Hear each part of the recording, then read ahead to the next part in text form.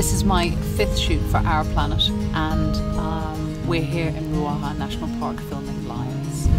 Uh, we're two weeks into a four week shoot.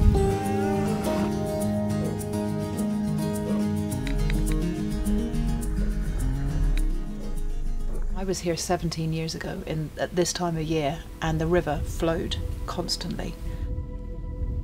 Sadly, because of the pressures of farming and drainage, the river now doesn't flow.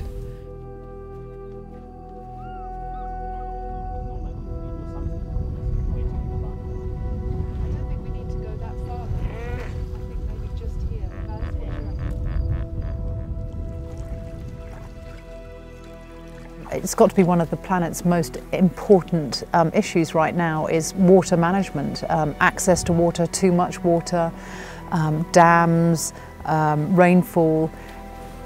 It, it, it's all about flow.